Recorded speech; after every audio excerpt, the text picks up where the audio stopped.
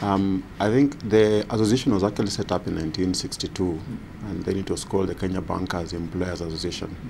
And as the name implied, it was um, uh, because the industry was growing, and the employers, as bankers as employers, felt that there was a need to bring the employers together and handle, at that point in time, the industrial relations that they needed to handle collectively.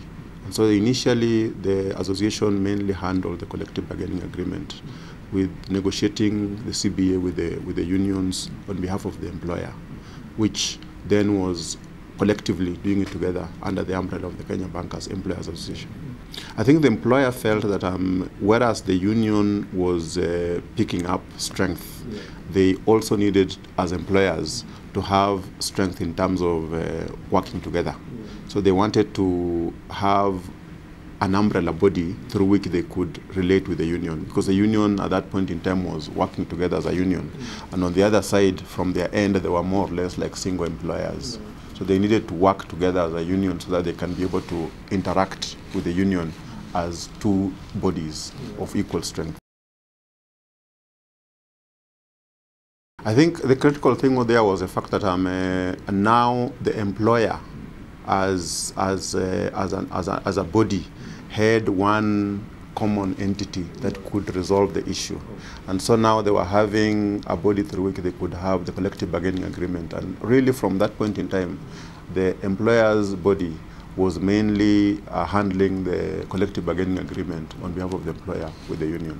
Since then, I think the next one was, um, which did not um, uh, uh, you know, extend for a, for a period, was in 1998. You recall there had been a strike really out of um, something that was not an error on the part of the banks as an employer.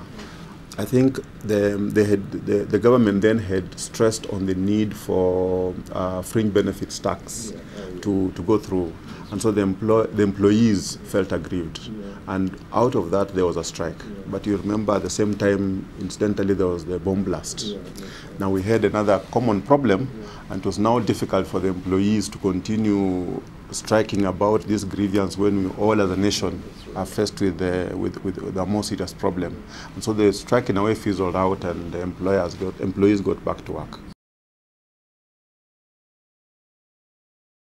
Now, the central bank, actually what we have seen is over time, um, um, uh, the relationship between the Bankers Association and, uh, and the central bank has become more of a partnership um, even though the central bank still has got the regulatory responsibility over the members and the bank association is a representative body of the members, but the relationship between central bank and the Kenya Bank Association over time has more or less become a partnership, which is a unique kind of relationship. I've seen in other markets, we almost like would do not have a similar kind of partnership kind of relationship. Mm. And why am I saying is almost a partnership? We have implemented quite a number of projects for the betterment of the industry in partnership with Central Bank. I can give an example like the check truncation uh, system.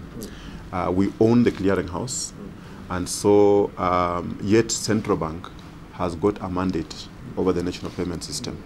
So the clearinghouse is a major component of the national payment system. So in order for us to modernize the clearinghouse, which is a major component of the clearing, uh, the national payment system, we had to work with Central Bank in partnership. The clearinghouse is really um, the, the, the, the house, the physical house, where the banks come to exchange the, the clearing effects. And by clearing effects, we mean the checks.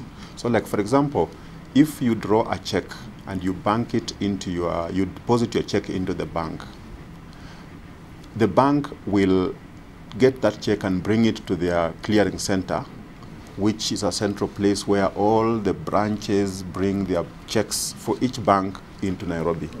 Now, then those checks are sorted out and they're taken to the clearinghouse. Now, the clearinghouse is where all the clearing agents from all the banks come to meet and they exchange the banks. So you have checks that have been deposited in your bank and you exchange them with the other bank which will also give you the checks that have been drawn on you but deposited at their bank. So at, that's a medium through which you exchange the checks. Now, then you go back with the checks and you decide on which ones you're going to pay and which ones you're not going to pay and you return them within a given period of, of time. Yeah. So now then the other bank will, after the period has expired, it will then credit the amount to the check that was deposited in the bank. That is physically how the clearinghouse works. Now, by the check truncation system, what you have done is that you have converted that manual process of the checks moving from where they're deposited to the clearing center to the clearing house and then back in case they bounce back to the original bank and then back to the customer. We have now automated all that process and, uh, and, and, and, made it electronic. So now rather than the physical checks flowing we take an image of the check and then it flows through the system and then back. What that has achieved is two uh, the, the process is faster because electronic so we are now able to clear the checks from the original 21 days, by the way, in the, in the early 90s, to now just about two days. And in fact, we intend to go to zero day, same day clearing eventually. Then the other thing is uh, by making this process electronic, we have eliminated fraud. Because you see, along the line, because of the manual processing, you could get checks substituted or checks amended manually through the process. But now, because electronic, all that is not possible. So you have made the clearing process much safer and much faster and more efficient. It's not the system. Most of the places in the world, actually, the clearinghouse is owned by uh, central bank or run by the central bank. And um, um, members come in as participating agencies. Now, in Kenya, we have always owned the clearinghouse and um, uh, because the clearinghouse really is a forum through which the members come to exchange the, the, the checks and central bank is also a participant yeah. because it's the bank for the for the government yeah. so it comes in as a participant and also clears the checks yeah. against you know against the other members but having said that central bank also provides an inspector for the clearinghouse because as i mentioned earlier central bank has got a mandate over the national payment system in the country and the clearinghouse being a key component of the national payment system, they have got to take a keen interest on it. And therefore, they provide a, an inspector for the house um, to, to help us um, run the, the clearinghouse. I think one of the things is uh, one of our key roles as, uh, as an entity, we have mentioned the industrial relations which has been there and uh, we still continue doing, but our role has sort of like expanded. And we see ourselves moving more into the advocacy uh, arena where we try to proactively influence policy uh, formulation uh, process. And so we engage the stakeholders in the policy formulation um, arena. And that's where our engagement with the parliamentarians, for example, comes in. Our engagement with the Treasury, um, because we submit, for example, to the Treasury proposals of um, policy proposals that we intend to see in the budget as the budget is being formulated. And that we do um, every year. And some of the proposals that we do make forth and defend at the budget committee level eventually end up in the in the budget proposal. Not all, but a number of them will end up in the budget proposal um, document. Now, um, in terms of engaging the other parliamentarians, for example, you, you may recall um, uh, for the last almost one and a half years, there was the debate about legislating the interest rates. And there were arguments for and against. And uh, we thought that it was a responsibility as an industry to enlighten or give our views to the parliamentarians who are in the process of trying to propose a legislation that we thought will have significant effects on the whole operation of the banking industry. So we had to give our side of, um, of, of, of, of, the story and we engaged them quite, uh, quite, quite, quite, quite um, uh, aggressively because we had several meetings with parliamentarians, different parliamentary committees. Uh, we were summoned to various uh, sessions of the parliamentary committee briefings, and uh, eventually I think our view was, was heard. It's more or less um, um, um, an association that tries to serve the best interests of the members. But of course, we have got uh, the members on one side, we have got our consumers. With the banking public on the other side, you have got the other stakeholders, which is the regulator, we have got the parliamentarians, and we have got to ensure that the interests of all these parties are well served through the umbrella association. we do not have the powers to punish because, um, as, as we said, you know, we are an association of the members. So there is a regulator who has got enormous powers to punish.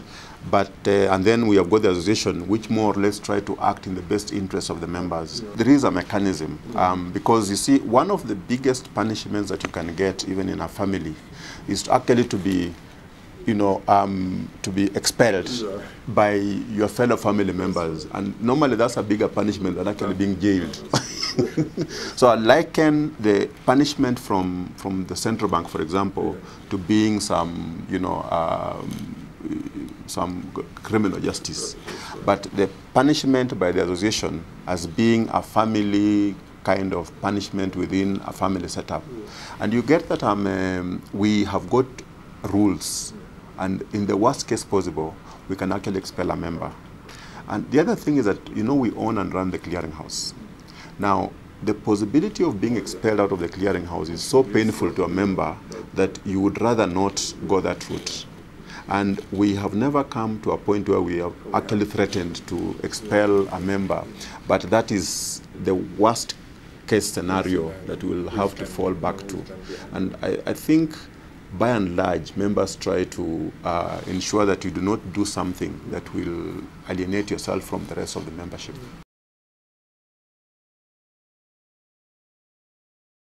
Kind of um, uh, changes that you have tried to bring up within the within the KBA to be able to play our role that is widening now from the traditional role of collective bargaining agreement to include advocacy and uh, also the management of the clearinghouse. Uh, we have had to um, uh, bring in capacity within the KBA to be able to handle that. And one of the things was that for the advocacy role to be effective, it needs to be backed up by a strong research base. And uh, in, in, order, in order to assist that, you have set up within the KBA a center which you're calling the KBA Center for Research on Financial Markets and Policy. And this center is coming up with uh, research findings that are, that are informing our advocacy initiatives. And that, that, in a way, has been found to be very effective because when you are giving an advocacy position from an informed base, well founded by research, you are much better able to defend the position and justify the position than when it's just uh, based on you know um, um, you know information that is not well founded because it's then easy to be challenged. But when you have got a well founded research then it's much easier to defend your position. And you basically advocate for a much more well founded position